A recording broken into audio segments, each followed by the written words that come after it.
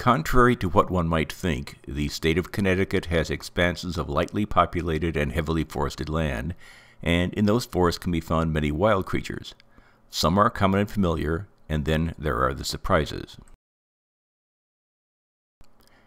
A couple of days ago, we were looking out our door across the walkway over our fish pool when we noticed something different.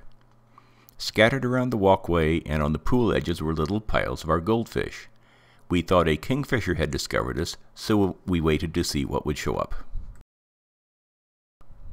After a couple of days, the culprit showed himself again.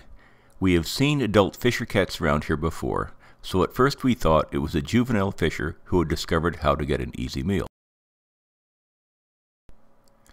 Here is what an adult fisher looks like. They're in the weasel family and are voracious predators, and we weren't too happy about having one around. But after seeing this video, some knowledgeable Connecticut wildlife experts identified our visitor as a mink, like this one.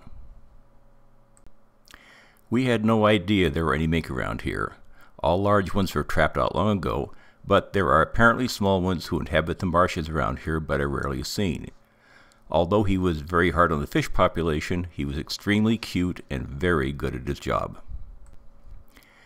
If he had been a fisher cat, he would grow up to be a voracious predator, and if he showed up again, I was afraid we would regretfully have to take some direct action.